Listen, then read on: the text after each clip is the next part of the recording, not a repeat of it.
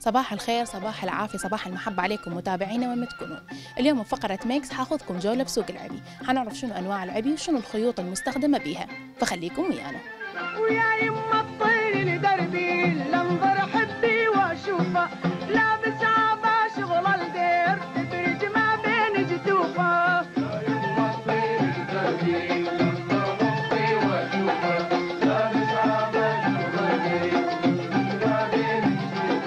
اليوم حابين نعرف آه، شلون تكون صناعة العبي آه، السوق مالتها آه، انت صار لك إيش قد بالمهنة؟ فسولف لنا حجي أهلا وسهلا بكم.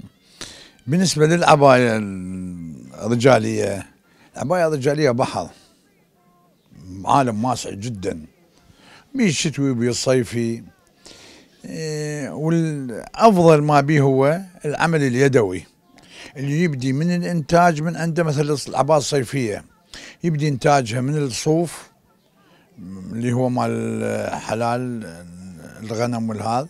يبدي بعدين ينغسل ويتعمل بعدين يسوونه أكو غوازيل يغسلونه وبعدين ينحاك يدويا ويجي يمنا إحنا الخيطه هم يدويا فالغزل كل ما يرفع كل ما يصير ارقى واغلى وهالفترة هاي هسه بعد أحداث 2003 ظهر جيل من الشباب جديد. هو الزي العربي؟ فدخلوا بقوة على الزي العربي. شباب رغم هم عن اعمار أعمار بين ال 20 و 25 سنة بس دخلوا بقوة لللبس الزي العربي. إحنا العباية عندنا عندنا هالانواع العبي شوفي هذا قدامك.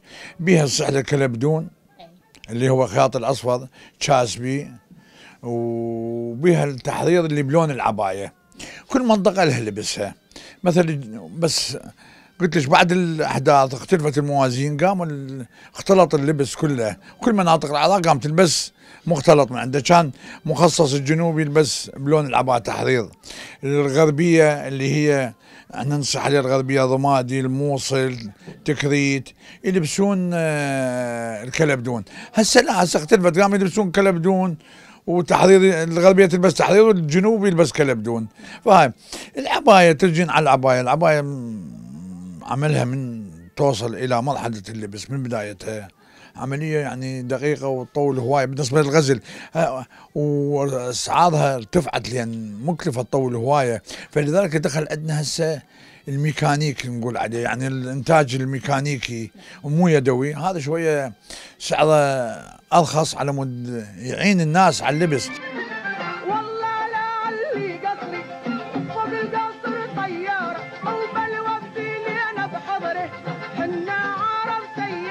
العباية اليدوية العمارة أزيد شيء. كان نجف نجف هسه شوي قل باعتباره ميناء على الوطن العربي. ها إنتاجنا العباية الع- العباية العربية اليدوية.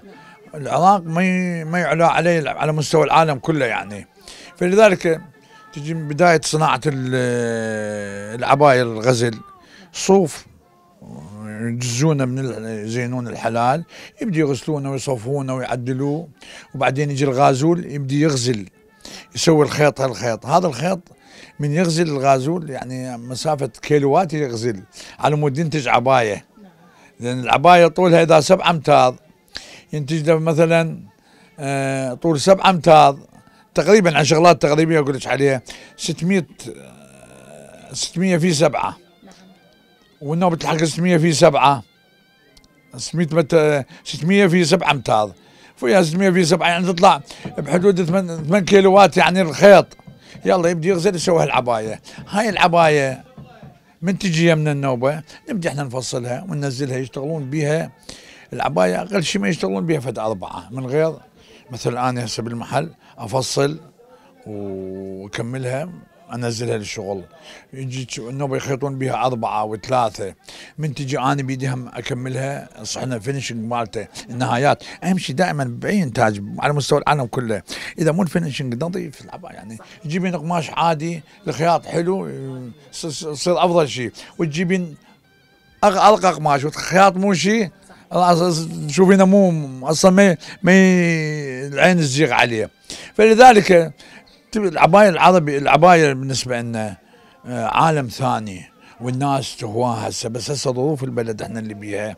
العالم شوية هدأت لأن منتهيه مشاكل مشاكلها بس هي بصورة هبة قوية جدا عليها بعد 2003 ازل من يعني قبل. سوقها مشى سوقها ماشي هو ما, ما ينقطع مستحيل. لأن زي عربي مستحيل ينقطع. حتى لو نقول إحنا شلون يغفى بس في لحظة إن يقعد ويشتغل على حسب الأصول. حسب ما سامعة أني إنه أكو خيط بريسم وأكو خيط الحرير حتى يغزلون بيها أو ينسجون بيها. هذا بالنسبة للخيط هذا قصدينا بريسم الحرير اللي بلون العباية اكو أكو بوليستر. اللي نشتغل به. وبريسم هسه هم قل يجينا من الصين. هنا يعاملونه ويصبغوه ويسووه. هذا ال- البريسم هسه قليل كله معظمه بوليستر نشتغله هم يجينا من الصين. هذا بالنسبة للتحرير الكلبدون الخيط بعدة أنواع. هذا الأصفر. بالدرجة الأولى الفرنسي. ودرجة ثانية فرنسي وأكو هواية بالسوق. أنواع. هو مو فرنسي صين احتمال وهندي وهذا ويطلق عليه. فرنسي بس هو مو فرنسي. واكو ياباني أقل من عنده. كان قبل هندي هم أقل ما موجود. بس أفضل شيء عندنا هو الفرنسي الأولى ويجي وراء الفرنسي الثانية. هذا لأن كتب العمر الفرنسي الأولى. لأن بنسبة الفضة 990% ويلحق نسبة الذهب 4% اكو 6% اكو 8% نسبة الذهب بالخيط بينما آه، ال- الثانية لا نحاس الفرنسي الثانية. باقي الياباني نايلون ال- الأنواع الثانية آه، اللي هو مطلق عليه فرنسي بس هو مو فرنسي.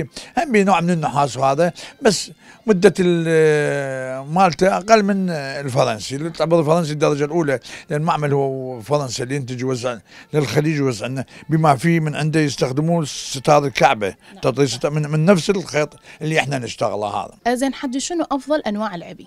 أفضل أنواع بالنسبة للصيفي اللي هو آه، الغزل العمارة وبالنسبة للشتوي وبرنبيه انتاج السوري. نبيه حمد الله مشهور من كان عنده معامل بالأردن وبيروت بسوريا هسه بقى بس اللي بالأردن مال سوريا لأن باسطة حرب سوريا وهذا. فأفضل بالش بالشتوي النبيه س- حمد الله. وبالصيفي غزل العماره ما يعلى عليه يعني. شكرا حد العفو العفو. وصلنا لختام فقرة ميكس لهذا اليوم. يا رب استمتعتوا بجولتنا بسوق العبي انتظروني في فقرات جاية إلى اللقاء.